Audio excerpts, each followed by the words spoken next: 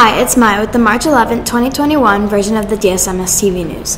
Today is Superhero Essential Worker Day and tomorrow is PJ Day.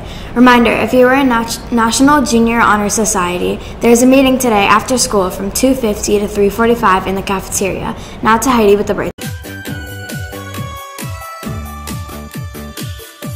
Hey DSMS, it's Heidi with the birthdays. Today's birthday are Tessa Johnson. We missed Miss Sabrina's birthday on Tuesday. I hope you had a nice birthday and happy birthday. Sorry if I pronounced your name wrong and now to lunch. It's time for lunch!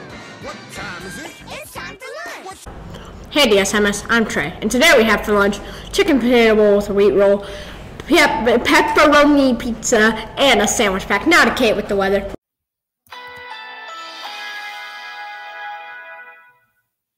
Hi, it's Kate with the weather. The high today is 66 degrees and the low today is 55 degrees with a 65% chance of rain. Now to Maya, the